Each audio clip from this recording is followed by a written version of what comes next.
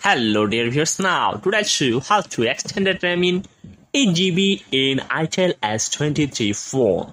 If you want to increase your phone RAM or extended your phone RAM in ITEL S23 phone, for this first you have to find the option called settings. If you want to increase or decrease your phone RAM, you just find the option called settings. When you find settings option then you have to click on its settings scroll down. When you click on its settings it will be presented with many options from here. Then scroll down scroll down. If you want to increase your phone ram increase your phone ram scroll down scroll down. You will see an option called special function. And you have to click on it special function.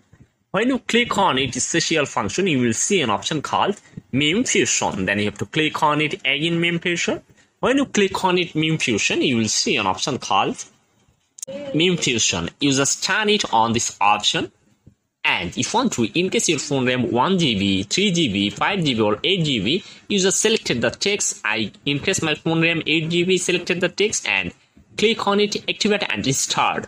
When you click on it, activate and restart, my phone RAM is increased 8GB. If you do not do not activate and restart click your phone RAM not increase in ITEL S23 phone. And I unlock my phone and when restart complete I go to settings and go to my phone and show my RAM. This phone RAM basic RAM is 8GB and expanded RAM is 8GB total RAM increase 16GB